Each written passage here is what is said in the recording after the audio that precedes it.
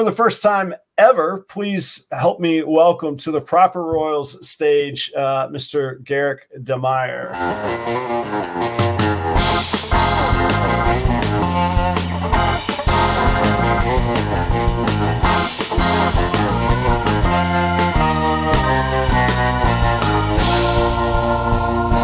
I've been doing uh, a little segment that I call the top five, and I, I haven't mentioned it because I want the you know the the quick, honest, quick fire answers.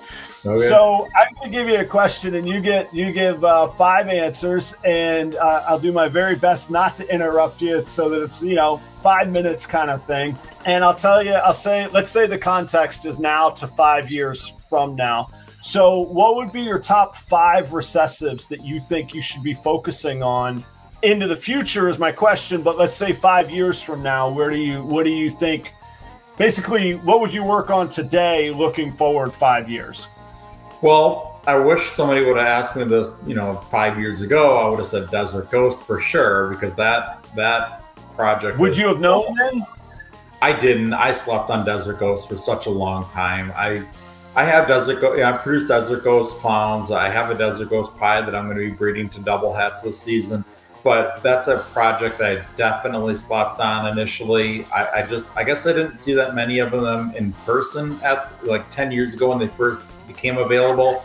And I'm just like, you know what? It kind of looks like an Orange Dream Fire, and I think I can, I can make stuff simpler with a double codom than I can with a recessive. And at the time, I was all about getting like really showy stuff, like banana. Uh, banana was real big back then. You know, doing stuff like that. So Desert Ghost, but still even moving forward, I think Desert Ghost is a big one.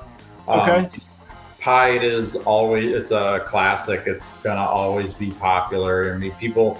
I would say if you line up ten ball pythons, no matter what the morphs are, and there's a pied in in those ten, most like new people that are just getting into this are going to probably gravitate towards the pied. Um, you know, clown. I'm so deep in the clown right now. I mean, I'm I'm 20 years into clowns almost. Um, you know that I, I I gotta say that too. It um, seems like the bottom. I know I said I wasn't going to interrupt, but it seems like the the bottom for clowns is, is still generations away. I mean, I can't believe. So uh, I mean, that's what when I first got into that. When I first bought my original male in 2003, I'm like, I just saw so much potential. There were none none of these other morphs out there back then, but I just saw the potential. Like that's a color morph and a pattern morph, and that's right. gonna that's gonna be a game changer. And I had no idea how much of it it would be, but that I mean, it, it's just a classic morph, and and I just love them. Um, another one. So let's see. I went through Ghost, Clown, Pie. I would say Monarch is is something that I I'm working towards getting into more of my projects, more in the form of like double hat stuff right now but uh, you know, trying to get Monarch into Pie, Monarch, Monarch into Clown, um, probably Genetic Stripe too, but maybe a few other things. Um, so, and, and I, I, consider, all. I mean, Ultramel's not the same thing as Monarch, but it's similar, and Ultramel's another one that I'm, yeah, I'm really working the uh, Ultramel Pied and uh, Hypo Ultramel Pied stuff, the triple recessives, uh, Ultramel Clown. I'm I'm really working that project fairly hardly hard right now. Um, as far as other recessives, I have not gotten into monsoon yet, and I don't have any visual sunsets yet. Um, oh. Those projects, I, I, like them. I'm, and, and I've liked some of the combos that have come out so far, but I want to. I, I, and I feel like I'm sleeping on them a little bit because sooner or later somebody's going to hit something that is just out of this world with them. I, right. I knew it, and and yeah. there, I know um, the uh, uh, lavender albino sunset. I believe that uh, um, Brad Boa hatched out. I think I, am almost positive that's what it was. I saw a picture of it a few months ago. Um, that thing looked unbelievable. Um, and I think it was sunset in with lavender albino. And I'll, I'll have to look, uh, so don't quote me on that.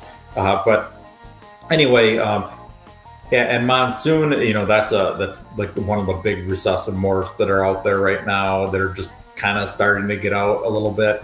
Um, that, you know, all of them kind of look the same with different colors right now. I'm just wondering what other genes are going to get in there to like alter the pattern or just destroy Right. the pattern. Right. And I think that's the key is, you know, because like there have been some codom genes over the past few years that have done that too, like where everything kind of looks the same, but maybe a little bit different color, like bamboo, but champagne. You know, those are great morphs, but you know, you, you start mixing too many genes in with champagne, they all kind of look the same. And and same thing with bamboo. It, it's hard to tell what other genes are in some of these bamboo combos. And I like both of those combos, but to me, if if most of the different combos that you do with them are to look to look kind of similar, might not be as much of a point to do them. Right. So, you know, uh, um, yeah, I don't know. I don't know if I got all five, uh, but Oh, you got like seven. Yeah, you you you fulfilled the uh, the uh, the you fulfilled the exercise wonderfully. okay. let's talk about uh, let's talk about these clowns for a minute. I so I myself I wouldn't say I slept on clown. I've only been at I've only been at breeding ball pipe. I'm only going into my third year breeding, so it's not like a I've either done something or I haven't at the Mhm. moment. But uh, obviously, I have a lot of clown stuff now. The thing that I've been really excited about, like just in the past year, year and a half on clowns, is seeing some of the effects that some codoms or other recessives have that again totally change the pattern. So like clowns look different than any other ball pythons, just a normal clown. Mhm. But then you take like an acid in a clown, and other than just the head, it doesn't even really look like a clown. It doesn't have the typical clown, uh, you know, lateral and teardrops coming down the side. Spot nose. And-. What's that? Spot, spot nose is a Right. great pattern disruptor as well. Yeah, and then um, I know I saw I got to uh, work a uh, vending show with Dale at Constricted Reptiles, and, and I think you and he are kind of at the head of the uh, genet, or you and and I know that you and he are working on it, the genetic stripe clown project. That has a whole different um, pattern, both of genetic stripe and clown. It has these like triangle teardrops that that that you don't see anywhere and so like i got really reinvigorated on the clown stuff because there it is a new color new pattern but still within the same genes because we're still finding new things to put in there. Yeah. Th- that that we're able to be part of something that is evolving and literally never been done is so rare in this world. Like i i'm not going to invent a new hamburger. Like i could put a new topping on it but it's still i mean it's a hamburger. I'm not you know i'm not breaking any new ground. I'm just doing it well. This is all new completely completely new stuff market wise would you pick ultramel or monarch right now if if the money Well- was i guess you could source them equally kind of thing or if it didn't matter to you the, the overhead You know, honestly, I only have a single monarch male that I'm breeding into some clown combo and some pied females, uh, just to make my like I just produced my first double het uh, clown combo with monarch. Um, so I'm I'm I'm so far away from really seeing the big difference between them and all the different combos uh, that you could do. So I can't really say, but I mean, I, I love Ultramel. You know, I worked with Caramel for many years, and when Ultramel came out, and you know, initially I had quite a bit of success producing like nice, perfect caramels, but eventually, you know, just the the chances of some of them coming out with kinks and stuff, I just didn't want to deal with it anymore. And, and they are definitely different from like caramel is definitely different, and I love them, but they're different than than the Ultramel. But I figured, well, Ultramel is close enough that anything that I was doing with caramel, I could do with Ultramel.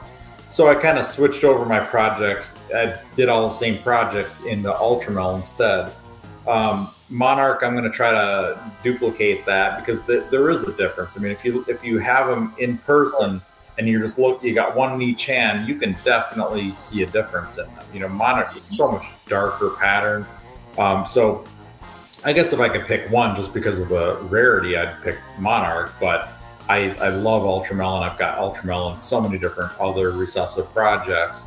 Um, but I'm, I'm I, I think they're they're different enough that the uh, I want to do all those projects with both genes.